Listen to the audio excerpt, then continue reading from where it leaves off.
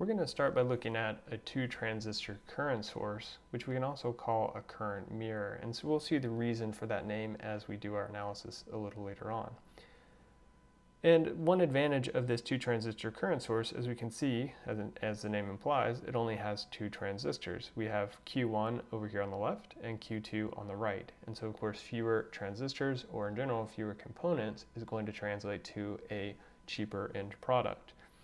So we're going to come back through and we're going to fill in some of these voltage polarities and currents in order to analyze the circuit in a little bit. But before we get into that, and I'm going to save some space there to come back to, um, in order for this two transistor current source to work, our two transistors, Q1 and Q2, have to be matched or identical transistors. So these must be matched. That's an A there or identical transistors. And so what do we mean when we say they're matched or identical? Well, of several things. So we assume that they're operating at the same temperature. We assume that they have the same current gain beta. We assume that they have the same geometry and so the reason that's relevant is so that they have the same leakage current or our reverse saturation current. And so there's some other things that we could say for, instance, uh, for instance, our dopant concentration, um, but these are really our important ones. Um, and so you think about why these things are important. Well, think back to our equations we've seen in a previous class for our BJTs, and we see that all of these things have an effect on the relationship between our base emitter voltage and our collector current. So it's usually a good approximation that we can say our temperature is the same um, because typically these Q1 and Q2 transistors will be close together on the IC and then through design we can have the same beta and same geometry or leakage. And so of course our same dopant concentration, all of that stuff should be relatively consistent for the two if they're close on the IC as well. So now what we want to do is we want to come back here and we talked about typically we want these transistors to be operating in the forward active mode because that is the mode where we know um, very clearly what our current and voltage relationships are. So let's label some voltages in order to facilitate that discussion. So if we're looking at Q1 first, we know for instance we have our base, our collector, and our emitter. And so maybe instead of highlighting, what I can do is I can put in some different colors here for a second at least. We have our collector, our base, and our emitter, just as a refresher there. And so we can, we can label some voltages. We have our base emitter voltage, and let's put a 1 on that because this is for Q1. And so notice I'm using uppercase variables with uppercase subscripts because we're dealing with DC values right now. And we can also label our VCE. So these are typical voltages that we would want to label. Um, we don't often label it, but if we wanted to, we could also label our base collector voltage, VBC. And so why is that relevant? Well, like we talked about in our previous video, so let me put this down here on this page. So like we talked about in our previous video, um, the biasing of these two junctions, our base collector and our base emitter, are going to determine what operating mode we're in. So if we want to be in our forward active mode, notice we said our VBE should be greater than zero and our VBC should be less than or equal to zero. So that's in that bottom right quadrant there. And so most of the time we're going to be dealing with this case where we're sort of right on this line here where our VBC is equal to zero and that's acceptable because our transistor isn't going to switch modes right at that line. It's usually somewhat of a gray area. So let's come back up here and look at what assumptions need to be made in order for our transistors to be operating in that region. And then we're going to do our circuit analysis. So let's start by looking at our transistor Q1 on the left. So for our Q1, we see that our circuit is actually shorted between our collector and our base right here. And so of course what that means is that our VBC is equal to zero. And as a consequence of that, we also have that our VCE1 is equal to VBE1. So I can add a 1 there as well. Um, so if we have sufficient bias, so if we have sufficient bias to turn on our base emitter junction, we'll be in the forward active mode. And so of course our bias is coming from our V plus and V minus here. So sufficient bias such that VBE1 is equal to VBE on of that particular transistor, then our transistor is going to be in our forward active mode as desired. So now we can do a similar thing for our Q2. And so for Q2, let's label a few things as well. So we have our base emitter, VBE2, base emitter voltage, and our VCE2. And typically we won't label it, but we can for this time. We can say this is our VBC2 here. And so for this one, we can't see as clearly because we don't have really the whole circuit. So this is going to be our circuit that creates the current, but where I have this dot, dot, dot up to the top, this is where our load is going to be connected. So our exact conditions of this Q2 is going to depend on what we connect, and we'll talk about that in some later videos. But for this case, let's say for Q2, we're just going to assume it's forward active. So we're going to assume forward active mode, and so what that's going to mean then is that our VCE2 has to be greater than or equal to our VBE2 which has to be turned on. And so basically all that's saying is that this VCE2 voltage here has to be large enough such that our VBC2 voltage is negative or zero.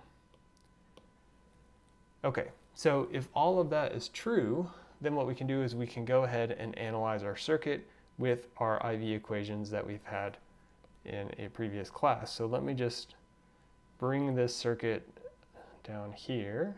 So let's copy that and let's come down to a new page. Okay, so here's our circuit. So we can also add in some other currents and voltages to help us. Um, so we can, we will typically call this current through our R1, our reference current. So I ref and with that, what we can do is we can go ahead and do a, an analysis on sort of the left-hand side in order to calculate our IREF value. So we can say, switch back to black here, doing a KVL and using our Ohm's law for that resistor R1, what we can do is we can say our V plus is equal to V minus plus VBE1 plus R1 times IREF. And so if you have trouble seeing that analysis, of course, feel free to let me know. But essentially what we're doing is we're saying if we're starting down here at this potential, we're going to go up to this path. So I'm at V minus. I add VBE. And then here, I'm not going through anything. I add this voltage drop here and now I'm at V plus. So essentially that's the KVL path that we just did. So now what we can do is we can rearrange this equation in order to solve for our reference current value. So we can say our IREF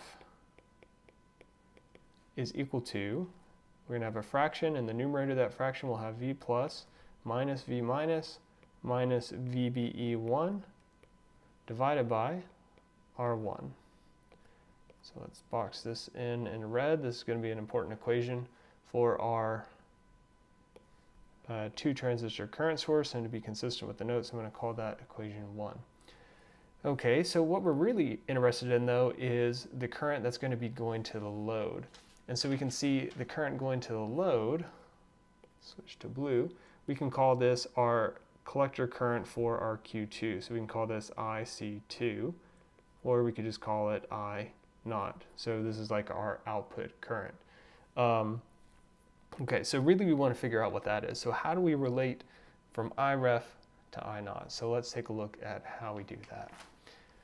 Okay, so let's switch back to black here.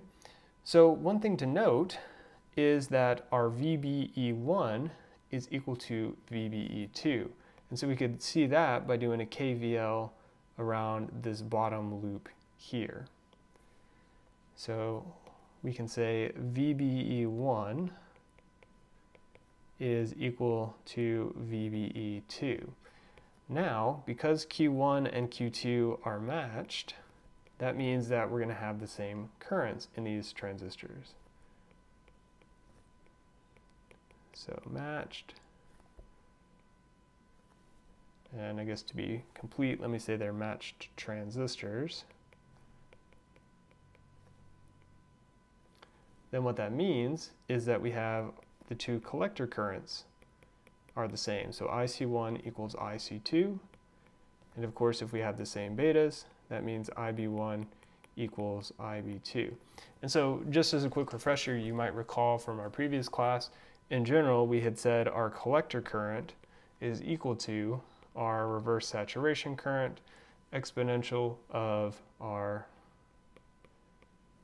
VBE divided by VT. So where our VT term depended on the temperature, our IS depends on the geometry, our dopant concentration, and then of course the relation between IB and IC depends on beta. So all of this is taken care of when we say that they are matched transistors because we're saying all of those things are the same for the two transistors. So that's going to simplify things a lot because we can say those things are the same. So let's come to our circuit now and add in some more currents for our transistors. So we already have our IC2, but where is our IC1? Um, so we need to be careful because our IC1 does not equal IREF because our IREF is actually supplying our IC1 here and twice our, ba our base current because we have two IB coming down here because we have it splitting one going this way, one going this way. So we have IB1 and IB2, and because we know IB1 and IB2 are equal to one another, we know that that value coming in must be 2 IB2. So what we can do then is we can do a KCL at our Q1 collector. So we can do a KCL right here. So from KCL, let me just scroll up so we can see. So we see we have IREF coming in, we have IC1 coming out, and then we have IB1 plus IB2 coming out. So I've kind of done in two steps, uh, combined two steps into one by saying 2IB is IB1 plus IB2. So let me just come back down here and write that. So we have IREF, which was coming in the top, is equal to IC1, which is coming out the bottom, plus IB1 plus IB2. Okay, well, we know that our IBs are equal, so I'm actually going to go ahead and write that this is 2IB2 because we know that IB1 is the same as IB2, so I'm just going to decide, hey, let's get rid of IB1 and keep IB2. So what we can then do is we can relate that to IC2, so we can say IC1 plus 2 now remember we can relate collector and base currents with our beta term. So IB2 is just IC2 divided by beta, and that's the same beta for both transistors. And so I've actually made a mistake here, but we can say this is just IC2 because we're saying that our collector currents are equal as well. So now that we have this, we can factor out our IC2, and we can say this is IC2 times the quantity of 1 plus 2 divided by beta. And now, of course, what we can do is we can solve for our IC2, which is equal to our I out. So remember up here we had defined that as our output current. So we can say IC2 is equal to I out is equal to I ref in our numerator divided by 1 plus 2 over beta. And so this is going to be our other important equation for our two transistor current source.